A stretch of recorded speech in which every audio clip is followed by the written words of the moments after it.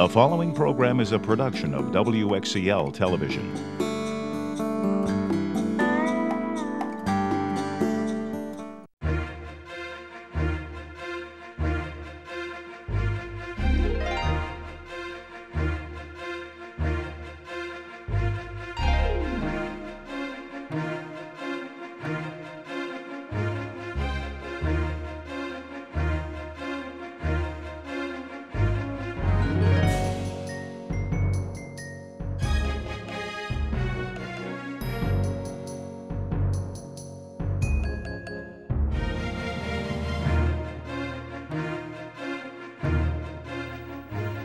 Good evening and welcome to a special edition of South Florida Today called Health Matters. I'm Tony May. In the next half hour, we are going to look at the health reform debate that is raging on Capitol Hill. There's nothing clear yet as to what will come out, but one thing is clear. Families along the Treasure Coast and in Palm Beach County say the economic downturn and the health care crisis have combined to make a perfect storm. Many of them are struggling to pay health care premiums if they have health insurance at all. And the access to care is even tougher. More than 200,000 people every day have no insurance or little insurance to get medical care here in Palm Beach County. But there are places and programs that are working. First this evening, we travel to Palm Springs to Found Care Health Center. It's a place where people desperately needing medical care can walk in and get just what they need. Palm Beach County resident Gary Ritchie says he's a hardworking guy with a college degree and years of experience in his field. He has spent decades working for some of the biggest air conditioning contractors in our area. The last thing this father of three expected was to be out of work and on the unemployment Thank line. you. I came from making $50,000 a year to 10. That's a drastic change in our economic times. My mortgage is 2,500. While the current economic conditions contributed to Ritchie's layoff, so did the fact that his diabetes was out of control. And without insurance, he found out how difficult it really is.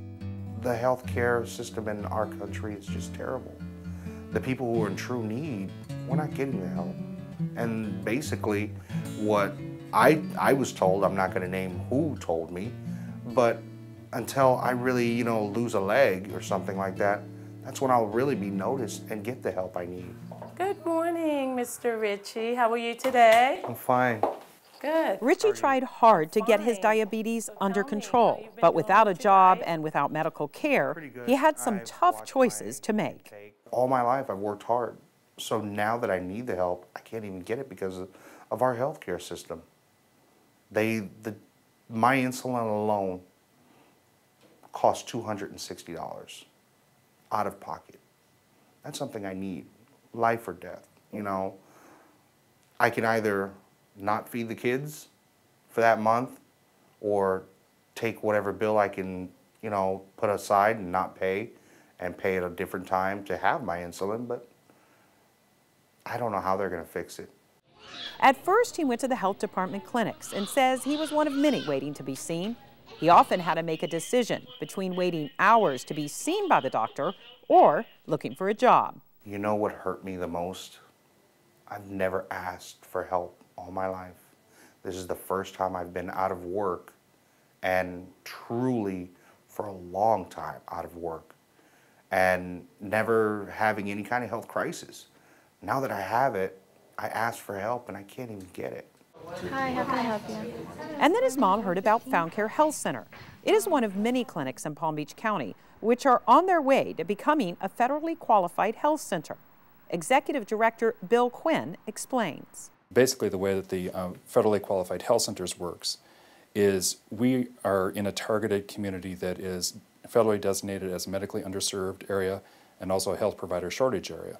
Part of the reason for that is that um, the majority of people that live here that are uninsured or underinsured um, have insurances that most um, doctors can't afford to take. And so we get um, some enhanced reimbursement through that relationship with the federal government to help offset that cost. And that allows us to be able to, to pay our doctors, uh, to pay our staff, pay our administrative costs. But also as part of it, we participate in a, um, programs that help us uh, purchase our medications at reduced cost, purchase our supplies at reduced cost. How you doing? I've had better days. Basically, whatever a person presents with, um, in a normal primary care setting, we, we handle. So if a person needs medication, uh, we prescribe that. Um, we're electronic medical records environment, so we're paperless. Um, our labs, our, all of our um, equipment is electronic, so we don't have any paper. Um, so we're a very green environment. Um, and we also prescribe electronically. So if, if you needed a medication, we would send it electronically to the pharmacy, any pharmacy within the, the community, and it's generally there before you arrive. When Richie arrived in the parking lot of Found Care, he had no idea he was actually in the right place until a special person pulled up next to him. My nurse, Elsie, I met her in the parking lot I said, Look, I have a problem. I'm really doing bad right now. I don't feel good. My sugar's really high. Uh, I need some help. I'm looking for this clinic that's supposed to be around here. And she's like, Don't worry about it. Come with me. I'll help you.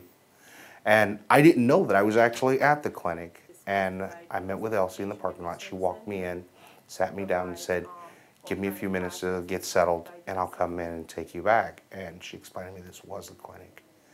And from that point on, she's been an angel to me.